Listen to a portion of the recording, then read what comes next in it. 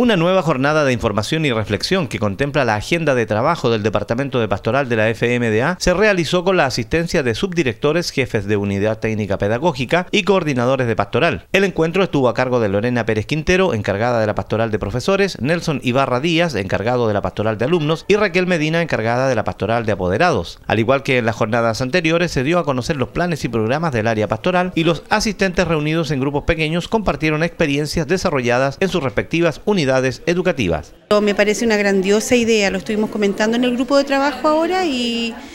vemos que es una tremenda instancia de organización, de, un trabajo en equipo, de no andar perdidos en el espacio con respecto a algo tan importante como es la pastoral dentro de los colegios de la Fundación, o sea, es primordial. Cada vez que haya una institución que tenga como misión y visión eh, entregar el Evangelio, yo creo que siempre va a ser una buena oportunidad para para que Jesús sea más conocido, más amado y también más seguido. Y hoy día nuestra sociedad necesita eh, instituciones que pongan este, esta impronta porque estamos tan avasallados por la cosa material, tan, la cosa hedonista,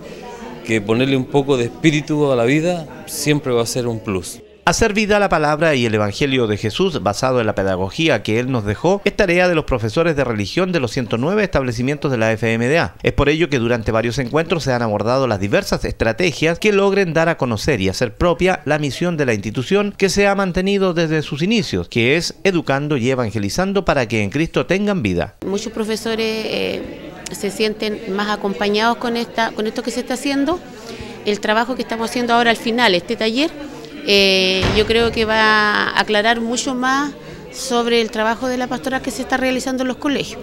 porque ahí, eh, ¿no es cierto?, estamos diciendo la, la, fortaleza y las debilidades que tenemos como equipo pastoral en cada colegio. Los colegios necesitan, han necesitado siempre mucho apoyo en, en, religión. Entonces yo creo que ahora con lo que hemos visto, ¿cierto?, el planteamiento del equipo pastoral, actualmente yo creo que lo vamos a tener. Se ve una muy buena, eh, a futuro, muy buena perspectiva. En los colegios de la Fundación del Magisterio de la Araucanía se trabaja el área de pastoral con alumnos, profesores y apoderados, quienes durante el año participan en diversas actividades programadas con el fin de mantener viva la presencia de Jesús en la formación de los estudiantes de cada unidad educativa, puesto que la institución sostenedora basa su misión en la educación y la evangelización desde que comenzó con su labor hace más de 160 años en la región de la Araucanía.